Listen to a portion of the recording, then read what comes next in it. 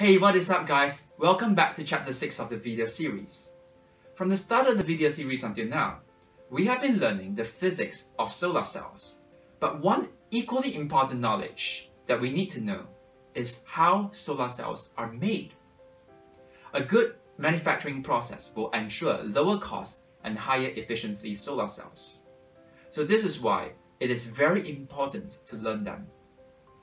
This video series is proudly sponsored by RS Grassroots Education. You can refer to the Design Spark article link below to find out more materials related to this video.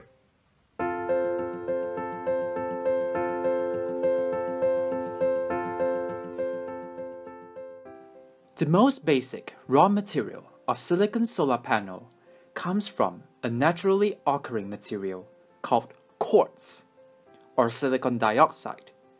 So the question that we really want to answer in this video is how are we going to turn quartz into a commercial solar panel?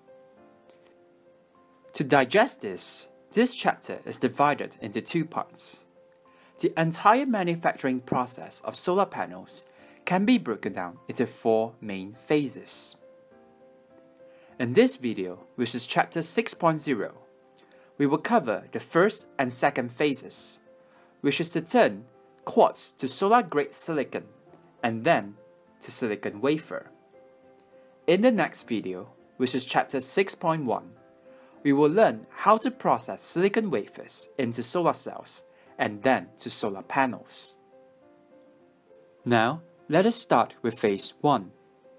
The first phase is to transform quartz into solar-grade silicon.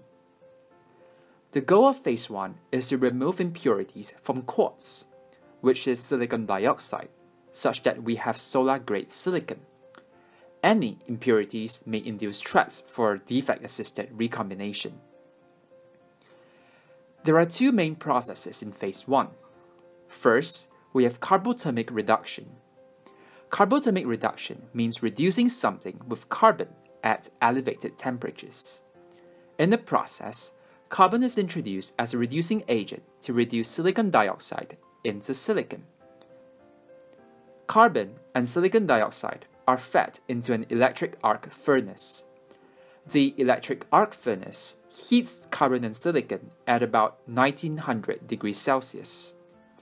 This process expels carbon monoxide, leaving us with liquid crude silicon that flows out of the furnace. Once it solidifies, we have what is called metallurgical grade silicon.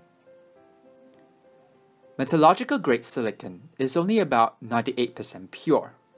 To qualify for solar grade silicon, the silicon has to be 99.9999999% pure.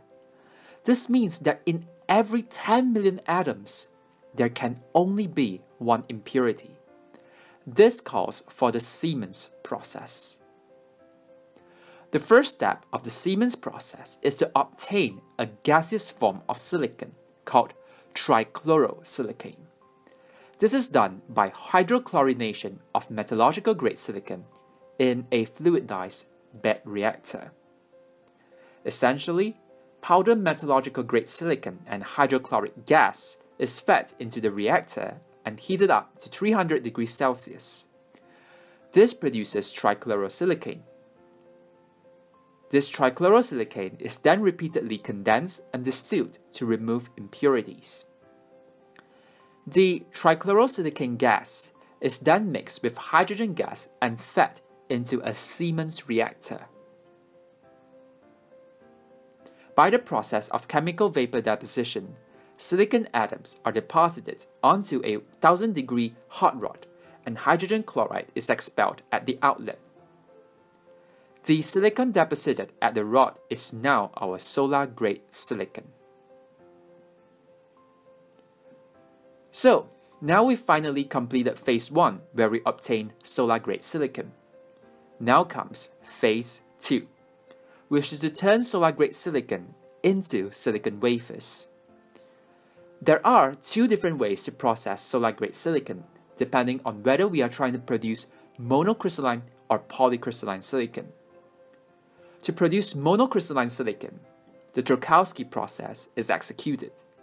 For polycrystalline, the Bridgman process is performed.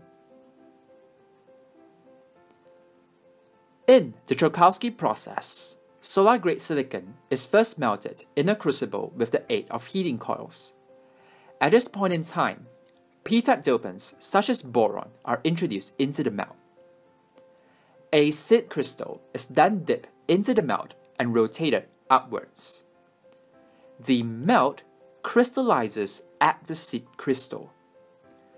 With precise control of the speed and rotation of pulling, a p-type monocrystalline silicon is formed. This is called an ingot. In the Bridgman process, however, there is no need for a seed crystal. Instead, it is a much easier and direct process. Solar-grade silicon feedstock is first contained in a crucible together with p-dopants and then lowered into a chamber. The chamber is divided into two ovens. The upper oven for heating and melting, whereas the lower oven is for cooling and solidification. Hence, the feedstock will first melt in the upper oven, and then as the melt reaches the lower oven, the cooling process solidifies the molten silicon into solid p-type polycrystalline silicon ingots. Now that we have obtained our p-type monocrystalline or polycrystalline ingots, the next process is as simple as slicing the ingots into silicon wafers.